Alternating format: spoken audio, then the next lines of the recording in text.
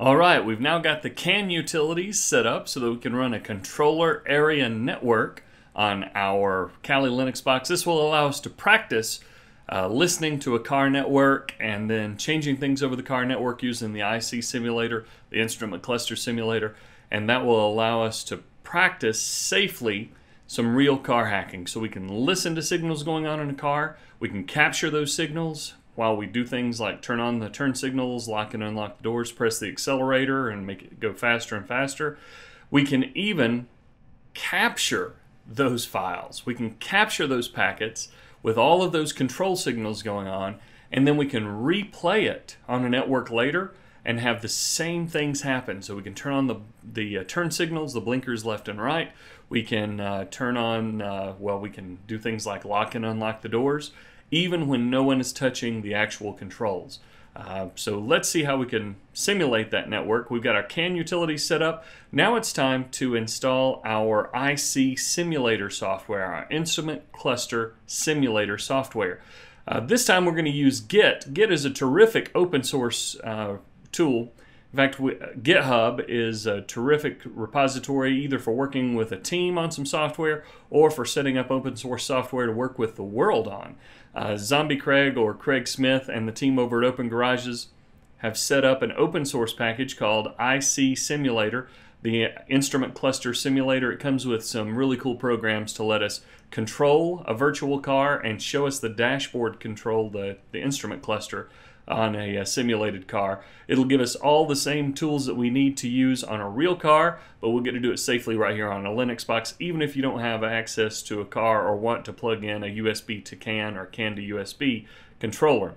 So we're going to use Git this time because uh, apt-get up above there, our apt-get install libsdl and CAN utils, those allowed us to uh, get some advanced packaging toolkit uh, software installations that were already made for Linux.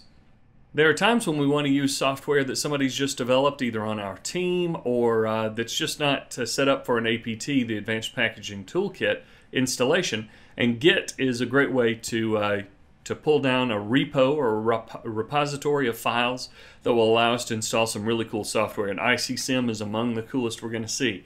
So let's go out to our Kali Linux command prompt and we are in our root directory. You can make sure that just by doing a cd enter, and that takes us to root. Next, we're going to use the git command, git, git clone. So we're going to clone or make a copy of this entire package of software called ICSim, and we have to get the entire uh, web address correct here, https colon slash slash github. This is the website you need to go ahead and set up a free account for as well so that you can share software with your friends. If you can use Git, you've got a leg up on other students who are coming out or other uh, applicants for a job who are coming out looking for a job in software development. If you can use Git, you know more than most of the uh, graduates coming out these days, and it's a really good thing to know. Zombie Craig is our user for Craig Smith from OpenGarages.org and the team there. And then ICSim capital I, C, S, and then a little im dot git. And if you've gotten that correctly, this should make a copy of ICSim. And notice as it says it's cloning into a folder called ICSim. So if I ls now, I should see a folder called ICSim, and I've got one right here. So let's cd into ICSim,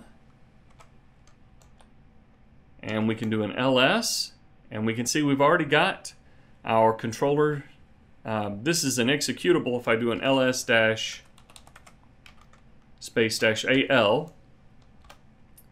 You can see we've got a new color here. We've got executable files, not just directories. And notice we have the source code here.